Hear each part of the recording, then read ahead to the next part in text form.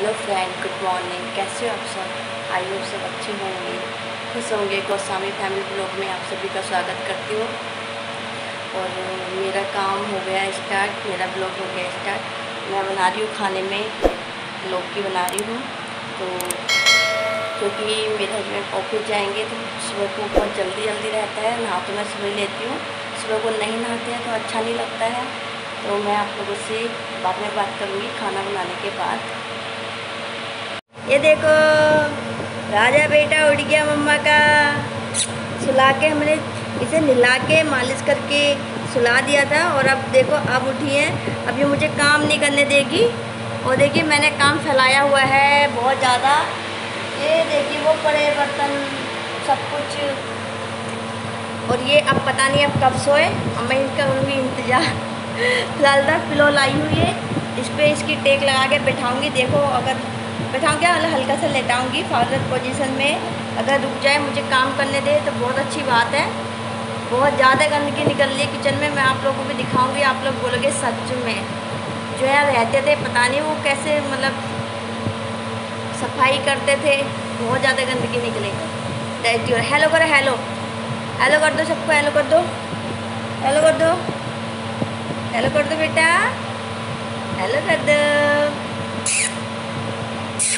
राजा बेटा मम्मा का। तो नानू जी को नानू जी नानू जी कहेंगे कांची पुरियो नानू जी कहते हैं कांची पुरियो ठीक हो आप? हैं? नानू जी को हेलो कर दो। नानी जी को सबको हेलो कर दो। मौसी जी जितने भी आपकी मौसी जी हैं, सबको करो। मेरी आवाज़ थोड़ी मतलब पीछे से आवाज़ आएगी क्योंकि कूलर चल रहा है, इसलिए अब मैं इसको बैठा देती हूँ। बैठाने के बाद मैं अपना काम करती हूँ स्टार्ट वैसे काफ़ी काम करा दिया, थोड़ी देर लेट गई थी तो ये। ऐसे बैठा दिया मैंने एंजल को, ऐसे इस तरह से। अगर देखो, अगर नहीं रोती है तो काम करूँगी मैं। फ़िलहाल तो कैमरे में देख रही है मेरा बच्चा। हम्म। लेकिन रो रही है, ये ऐसे भी मुझे लग रहा है ये करने दी, देगी काम कुछ भी। और यहाँ मैं कर रही हूँ किचन साफ़, और ये देखिए कितनी मतलब पानी दिख रहा है ये जो नीचे पड़ा है ना, ये पानी है। वैसे टाइल्स ये ऐसी है, और ये देखिए इतना सारी गंदगी निकली है। इसके ऊपर से निकली है।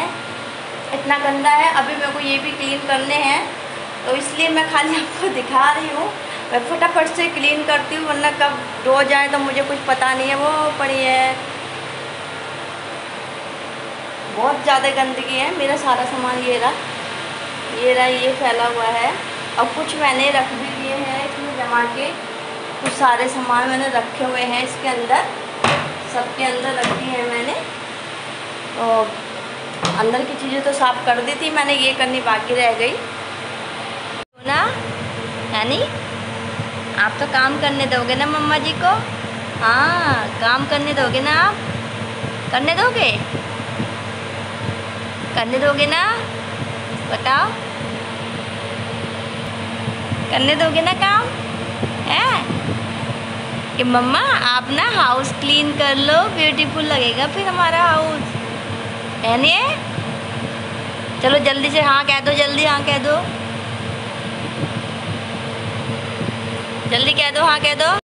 ये कुछ काम नहीं करने दे रही, मुझे कुछ भी, कई बार कोशिश की, काम करके आ जाऊँ, करके आ जाऊँ, अब इसको पेट पे लेटे, लेके बैठी हुई हूँ। कुछ काम नहीं करने दे रही है।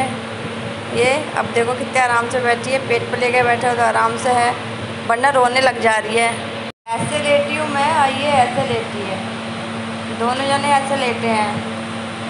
नीचे चटाई भी छाई हुई है, नीचे नहीं हूँ।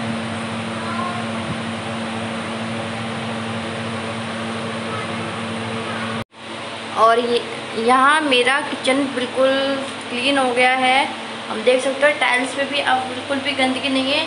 इन पे भी ऑयल जमा हुआ था ऑयल हमें को इतना इरिटेट कर रहा था ना, वो कुछ पूछो ही मत। और इसके ऊपर से तो उसके ऊपर भी जिससे होता है ना उस पर भी इतना ऑयल जमा हुआ था। और इसमें भी काफ़ी मतलब गंदगी थी, जमी हुई सब पे। और ये जो है ना, इन पे भी थी। बट अब ये मैंने कर दिए हैं क्लीन तो काफ़ी अच्छे लग रहे हैं। बहुत मुश्किल से कर पाई हूँ मैं ये किचन क्लीन इसने कम से कम एंजल कितनी बार रोई होगी, इतना रुलाया इसको बहुत ज़्यादा।